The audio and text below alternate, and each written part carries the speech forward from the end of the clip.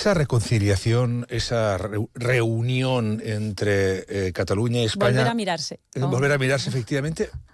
¿Ayudaría a allanarlo también el hecho de que pudieran retornar también Carlas Puigdemont, Marta Rovira, Toni Comín y Clara Ponsatí? Bueno, por supuesto, yo creo que esa salida de España tiene que ver también con el propio proceso de judicialización. Es una derivada del proceso de judicialización. Yo creo que acabar con ese proceso tiene que ver también con que, con que ellos puedan regresar, claro. Por tanto, ¿usted a favor de que puedan regresar? Bueno, yo creo que es que normalizar la situación tiene que ver precisamente con, que se normalice la situación y no es normal que no estén en España. ¿Usted cree que si atraviesan la, eh, atraviesan la frontera española se tendría que detenerlos?